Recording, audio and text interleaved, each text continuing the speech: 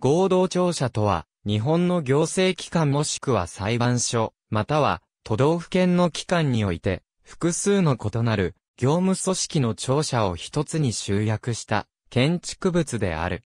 国民の利便性の向上、公務の能率の増進、土地の高度利用、建築経費の節減を目的としている。内部構造としては、ビル一つが一機関になっているわけではなく、階単位、または区画単位で使い、それが何層にも重なっている。同居する機関は関係するように考えられている。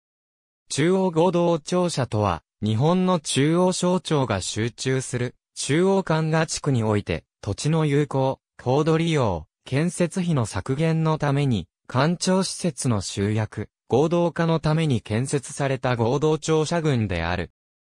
第二次世界大戦以前は、各省庁が独自の庁舎を建設していたが、大戦後の庁舎復興、改築にあたって、合同庁舎方式が取られることになり、現在8つの合同庁舎が建設されている。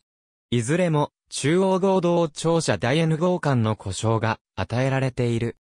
中央合同庁舎の整備は、観光庁施設の建設等に関する法律第10条に基づき、国土交通省大臣官房官庁営全部が担当する。また、各庁舎の管理は、使用する省庁の内国有財産法第5条の2に基づきそれぞれ指定された機関が担当し、国土交通省は観光法第13条に基づきこれを指導するものとされる。財務省、外務省、経済産業省と1989年に改築された特許庁及び本省中枢が市ヶ谷に所在する防衛省が現在も合同庁舎に入居せず単独庁舎となっている。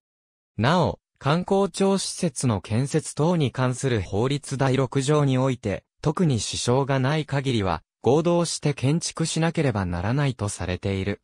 地方合同庁舎とは各省庁の地方支分部局を一つの庁舎に集約した建物である。各省庁とも同じ都市に地方支分部局を設けることが多いことから、合同庁舎方式を取ることが多い。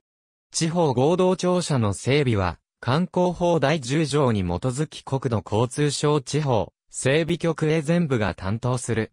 営全部の出先機関である営全事務所も存在するが、機構再編により地方整備局本局内の営全部に業務が集約された事務所もある。また、各庁舎の管理は、使用する省庁の内国有財産法第5条の2に基づきそれぞれ指定された機関が担当し、地方整備局は観光法第13条に基づきこれを指導するものとされる。裁判所においても、高等裁判所、地方裁判所、家庭裁判所、簡易裁判所、検察審査会が合同庁舎に入居する例が多い。司法権の独立、司法の中立性、連結性の確保の観点から、裁判所以外の機関との合同庁舎とはしないことが多い。下記は一例。都道府県の組織においては、各部局の出先機関を一つの建物に集約し、これを合同庁舎と称することがある。近年では、出先機関自体を部局横断的組織として統合するケースも増え、合同庁舎とは称さなくなる事例も見られる。ありがとうございます。